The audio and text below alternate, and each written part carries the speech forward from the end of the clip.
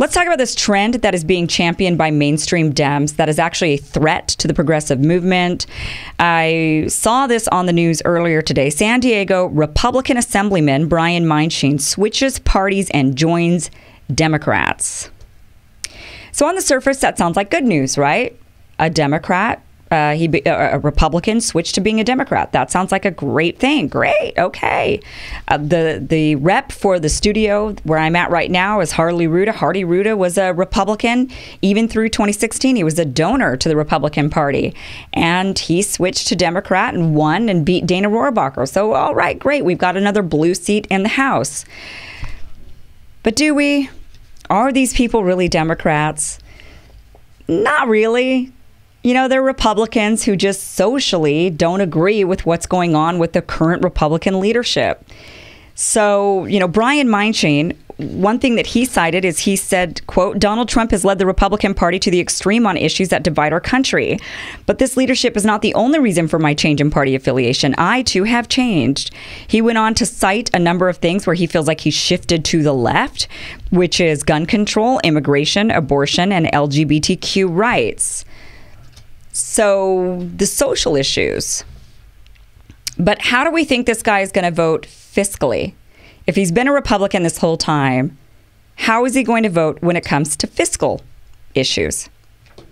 Well, he's going to be like a third way Democrat. He's going to be like a Bill Clinton or an Obama in a lot of ways, or uh, Beto O'Rourke, which I know a lot of people are wondering about that guy, and he's a third way Democrat. What's a third way Democrat? Well, you could look it up, but uh, a third way Democrat is somebody who is socially more liberal so they try to get the Democrats in to the vote because they're socially trying to appeal to the liberal sense of Democrats, but fiscally they're Republicans. And they try to appeal to the Republican base by being uh, more about corporations and big business and low taxes and and uh, you know reining in on social programs and taking care of the corporation and the big business and the big money before they take care of the people. So that's a third way Democrat, which was started by Bill Clinton and uh, or they call them new Democrats. And it turns out Obama was a new Democrat, which I learned that today. You can actually look that up on Wikipedia. I didn't realize. Now I knew the guy was fiscally moderate. I didn't realize he actually had proclaimed it. I didn't realize that he actually stood in a meeting with the third way Democrats and said, "Yeah, I'm one of you." I, I did not know that. That happened back in 2009. So then I just don't know how surprised we can all be that he was very fiscally like a Republican in so many ways. So there's that. Um, you know, so obviously this is a threat to the progressive movement because when you get all of these Republicans who defect to the Democrat Party,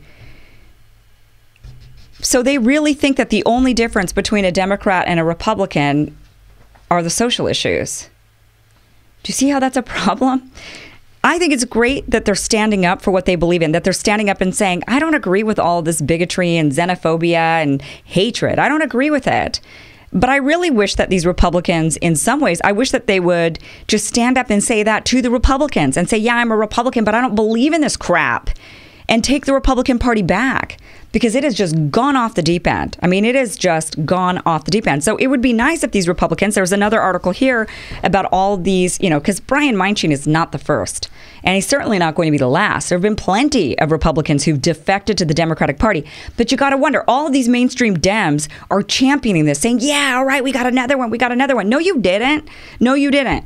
You got a Republican who is going to vote like a Republican, except on social issues. So if you want things like Medicare for all, if you want things like universal education, if you want things like uh, like uh, maternity leave and paternity leave and nursery care for your kids and higher living wages, these people are not going to vote for those things. They're going to say, you know what? Let's just be pragmatic. Let's just kind of take a look and mm, my uh, let me check with my donors. Hold on, real quick. Mm, okay, no, we're not for that. Okay, no, we're not. That it, it, it doesn't make sense financially. So no, we, we can't we can't do that. But I'm all for gay marriage, and I'm all for trans rights, and I'm all for uh, you know some common sense gun laws.